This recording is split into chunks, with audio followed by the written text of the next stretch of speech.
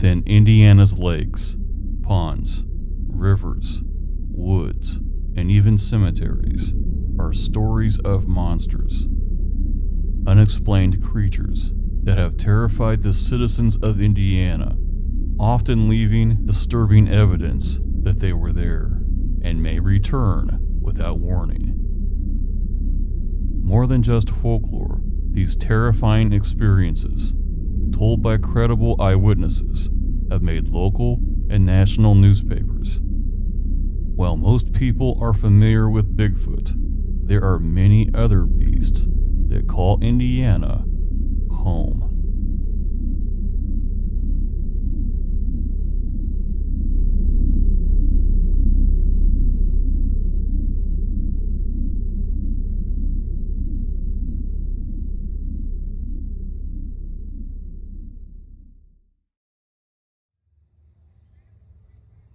If you travel west of Lafayette, Indiana, to the small town of Oxford, you'll find the Oxford West Cemetery. It's fairly typical of many small town Indiana cemeteries, except for what looks like a fortress in the distance. This is a large mausoleum built to safely house the bodies of the dead for eternity. It would not be unusual in the big city, but it is here in a country graveyard. And the reason it was built is the stuff of legends. In September 1889, an enormous snake was spotted in this graveyard by at least a dozen witnesses. According to the Logansport Journal, it was at least 15 feet long and as wide as a stovepipe, big enough to swallow a person. Some said it had horns and eyes that glowed. But more terrifying, they found holes all over the cemetery, underneath the graves of loved ones. In a day when caskets were made of wood and easily disintegrated, the beast was eating the bodies of the dead. It was then that this castle of a mausoleum was built to protect the dearly departed from being the lunch of what would be called the ghoul snake of Oxford West Cemetery. The mausoleum is incredibly impressive and looks like it would resist hurricane force winds or the devious attempts to get in by a monster snake. But is there any proof? You'll find circular bare spots that are probably naturally occurring. But you'll also find holes, a lot of them, and they are all about 15 inches across, the size of an old stovepipe.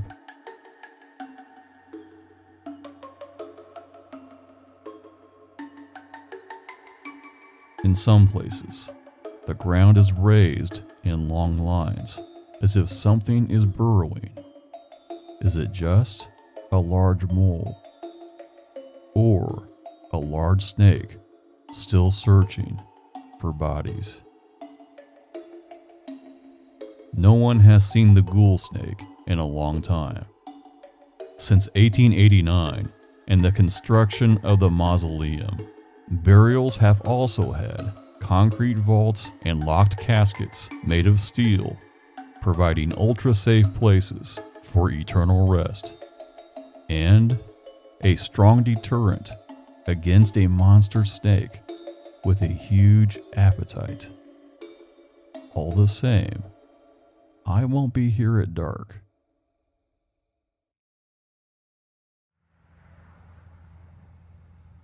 Northeast of Logansport is the town of Rochester in Lake Manitou.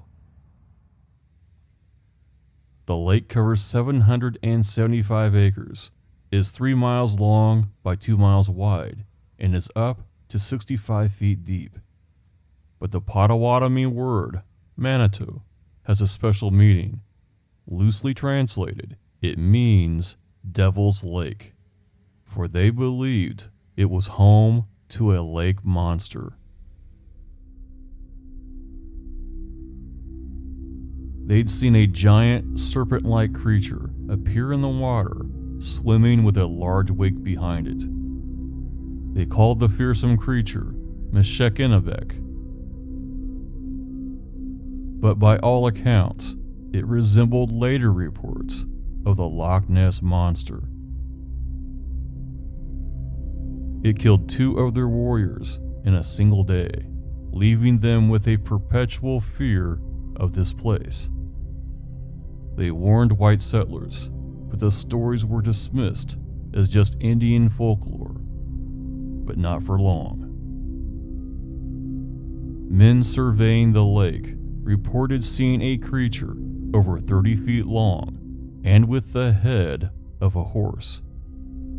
Then John Lindsay, a local blacksmith, spotted what he described as a snake like creature, at least 60 feet long with a head three feet in diameter that looked like a horse. And, just like sightings of Bigfoot and other lake monsters today, everyone made fun of him, saying he'd been drinking. But it was not the last sighting, by far. In 1838, three fishermen spotted the lake monster, and it was reported in the Logansport Telegraph newspaper. They said it had a head like a cow, a body like a snake, and was maybe 60 feet long. The story went nationwide, and fishermen from the East Coast came with large nets to try and capture whatever it was, but left empty handed. freakishly large fish were caught in the Devil's Lake, some over 200 pounds. But none of them resembled a serpent with a cow or horse's head. And catching them did not stop sightings of the Lake Manitou monster. In 1969, Carol Utter and her son were out on the lake when something surfaced it was larger than her 14 foot fishing boat, and she could not see the entire length of the creature. And many fishermen since then have reported something very similar. Some say the lake has an eerie quality that's difficult to explain. Local residents have reported a deep, booming noise from the lake and wonder if it's the Manitou monster. It's been almost 200 years since the first sighting, and yet the mystery has never been solved.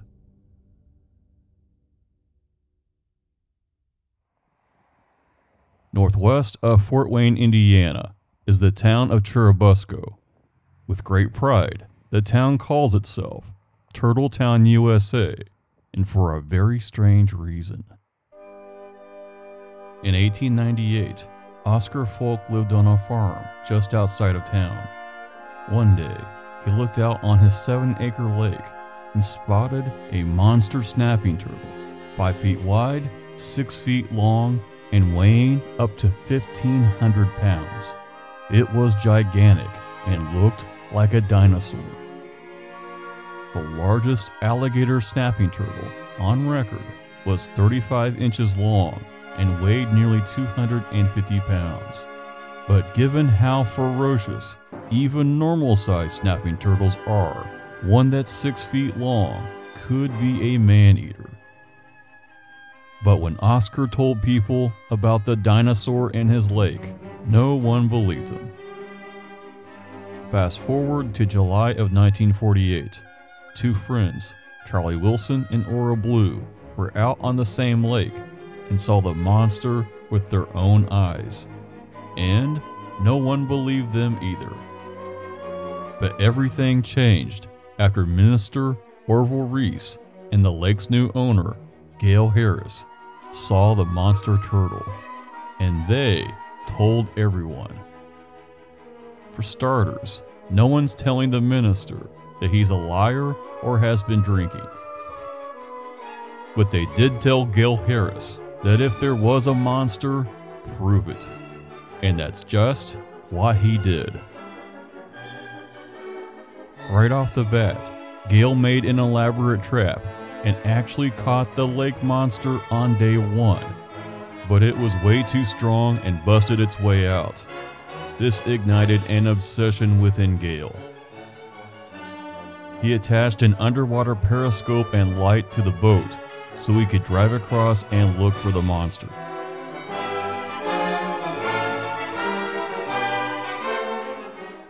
Newspapers and radio programs published the stories from coast to coast.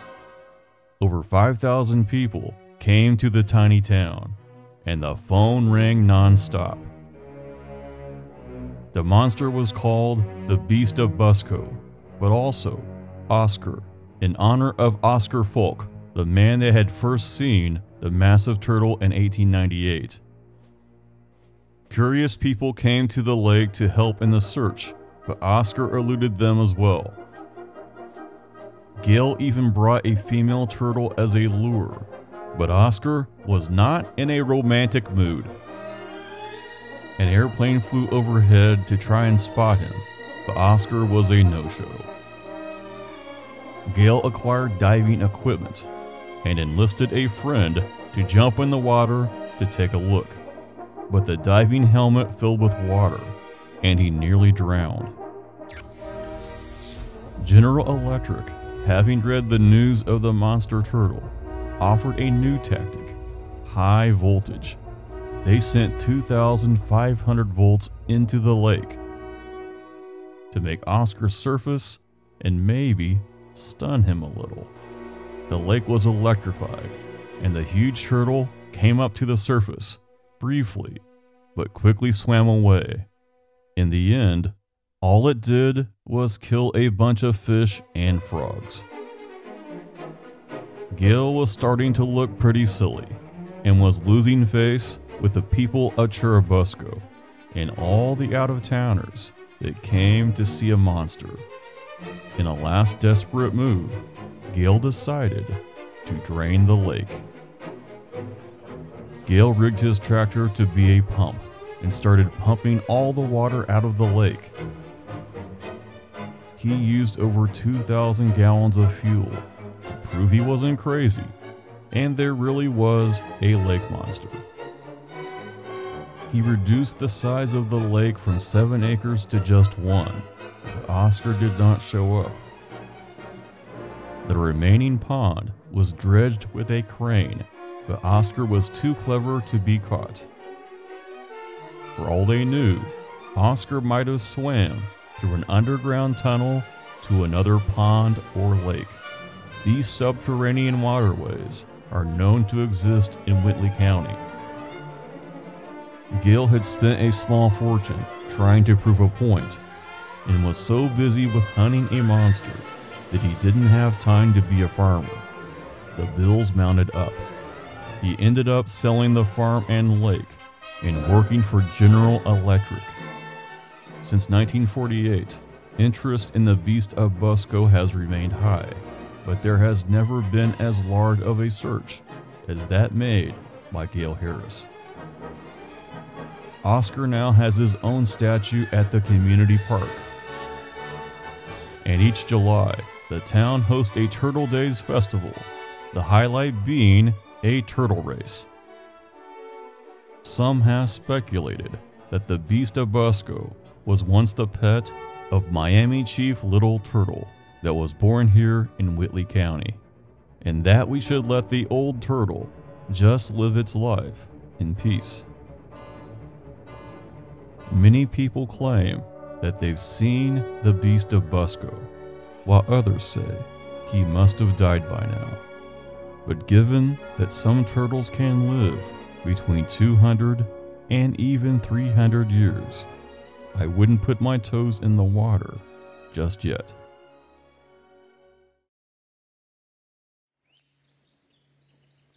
It may surprise you that Indiana has an area west of Evansville that closely resembles the Florida Everglades including bald cypress. But here's something else that might surprise you. For over 100 years, there have been alligator sightings in Indiana up to the present day. In 1908, a farmer spotted an alligator swimming in his pond in Decker Township. People later saw it swimming in the Wabash River. It was never captured. In 1911, one was spotted and captured near Evansville, but it was only two feet long, a baby. And perhaps that's what scared people more that big alligators were having lots and lots of babies. In 1946, at Vincennes, Indiana, two hunters spotted and killed a sizable alligator at Maria Creek. Alligators also showed up in the city. In 1959, an 18 inch alligator was found swimming in Fall Creek in Indianapolis. Small and alone is manageable, but in 2006, the Indiana Department of Natural Resources confirmed that a pair of alligators were swimming together in the White River, and it doesn't stop there. In 2018, an alligator was spotted in a pond at Plymouth, Indiana, and captured. In 2021, there were two more incidences. In July, seven miles northwest of Columbia City, an alligator was killed at Whitley Lake. It was over five feet long. Just a month later, in August, a woman walking her dog in Indianapolis was startled when a five foot long alligator snapped at her dog. The question is where are all these alligators coming from?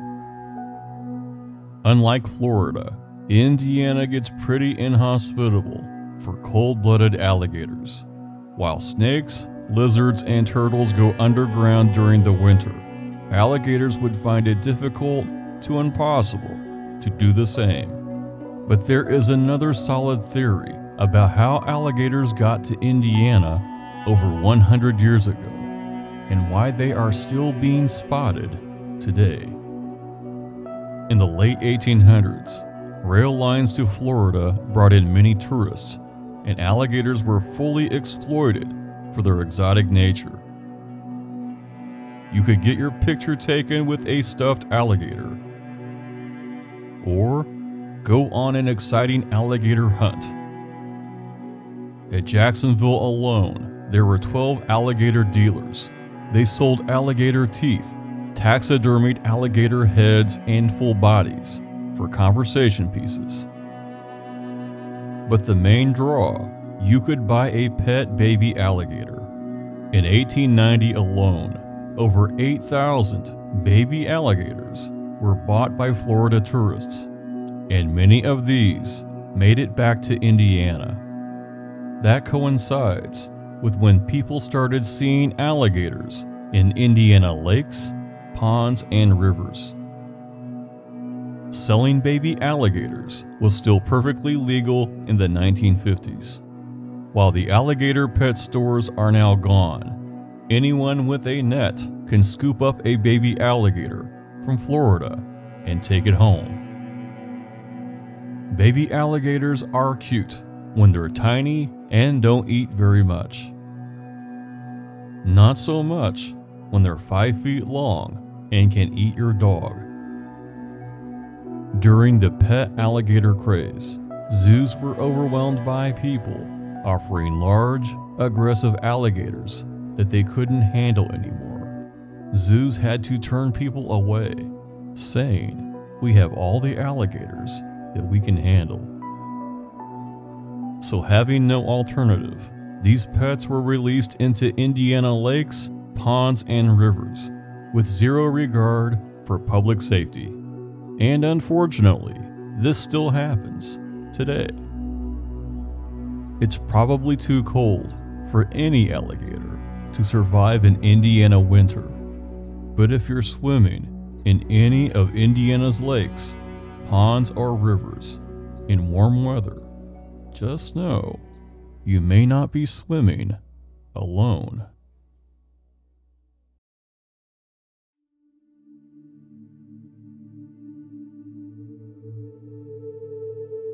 When it comes to monster stories, perhaps the most terrifying ones are where the monster patiently and quietly waits in the dark, methodically hunting their victims down, only attacking when it's too late.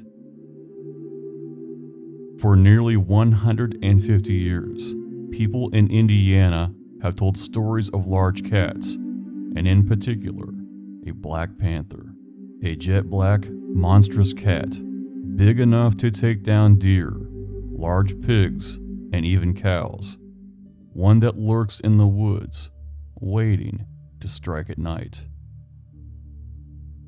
To this day, people see them on a dark road. At the edge of their farm, as dark silhouettes on the horizon. Or they hear unusual things in the woods at night before livestock are viciously killed and taken away. But sometimes they're seen prowling small town streets early of a morning by a paperboy or someone headed to work. Many dismiss the sightings as house cats with exaggerated size until the farm animals are attacked in ways so savage that it cannot be overlooked people form search parties with shotguns and high powered rifles. But the big cat hears them and easily slips away. Most usually, the panther is never seen again, and sometimes it returns. But the terror of never knowing has people lock up all their animals and have loaded weapons ready by the door. Conservation officers say there is no such thing as black panthers, mountain lions, or any other large cats in the state of Indiana. But that's not what people have been saying for generations. As early as 1877, the New York Times printed a story from Rising Sun in which a young couple were attacked by a monster sized cat. The beast left a paw print that was six inches across. Sightings and savage livestock attacks followed in 1890 at Scottsburg, 1894 at Uniondale, and 1899 at Dresser, but the panther managed to escape every time. That changed in 1946 at Lebanon. A black panther terrorized farms across the community killing pigs, lambs, and calves in the night. But two men tracked the monster into the woods and up a tree. They shot the beast with a 30 30 rifle and it fell into the creek. It made no struggle and floated away lifeless. The men were confident that everyone had seen the last of Indiana's Black Panther, but they were wrong. Numerous livestock attacks continued in 1947, but in 1948, the beast started leaving a new, hideous calling card. At Fountain City, farmers found their pigs dead, but the panther ate only their hearts and livers, leaving the rest of the carcass behind. The Black Panther was seen in southwest Indianapolis in 1949, near Lafayette in 1956, in Pike County in 1957, leaving a trail of mutilated animals wherever it went. In 1958, it killed 35 chickens at just one farm near Paradise. People were either firm believers in a Black Panther or assumed others were misidentifying coyotes in the dark. But in 1961, a minister at Lilydale saw and shot at the beast. Without a doubt, he said it was all black, 5 feet long, and had a 30 inch tail. Reverend David Brown had been a missionary to Africa and had seen big cats there and said it looked exactly like a black leopard. And it got away. There have been sightings in Perry County in 1978, in Michigan City in 1985, where the panther was seen with a dead domestic cat in its mouth. Numerous Black Panther reports were filed at South Bend in 2003, leading many to think that it had little to no fear of people with a population that large. By February 2004, one was seen at the southern tip of the state at Clifty Falls State Park by a park employee. As the park is heavily visited by tourists, no good could come from it being there. A black panther was later seen at Albion that same month, just 18 miles away. One was seen at Bloomington in 2005, and in that same year, Elkhart. By 2006, it had slaughtered six pigs at Whitehall. And in 2008, a black panther was seen in Floyd County, northwest of New Albany, taking down a deer. For an animal that doesn't exist, it sure is seen a lot and has killed countless animals in savage ways. To this day, Indiana Black Panther reports keep coming in, faster than people can say there is no such thing. The only question is when you walk into the woods, what do you believe?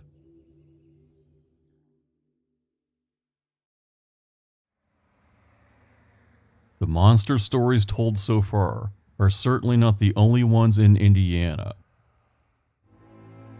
Native Americans that inhabited what's now Anderson and Mound State Park claimed that tiny, cantankerous people named Pukwudgies roamed the forest. Living in this ancient, sacred area, they have poison arrows, magical powers, can disappear at will, and are not to be trifled with. It seems a bit far fetched. But people in modern times, as late as the 1990s, claim to have seen them. Witnesses have said that they think they see small children in the woods, but as they get closer, they have troll like faces.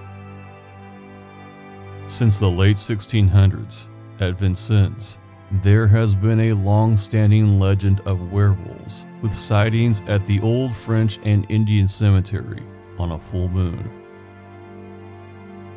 But unlike the Hollywood version, they have actually helped people. One saved a man from drowning, and another nursed a sickly man back to health. If you search county archives across the state, you'll find numerous tales of werewolves and dogmen. In 1891, people at Vevay reported seeing two strange creatures that were half human and half lizard and laying along the bank of the Ohio River. They called them mud mermaids. But unlike the little mermaid you're familiar with, they were extremely hideous with dog like ears. In 1955, a woman that was tubing down the Ohio River near Evansville was grabbed by what she described as a river monster that had a green hand and claws. It pulled her under the water twice before she could get away.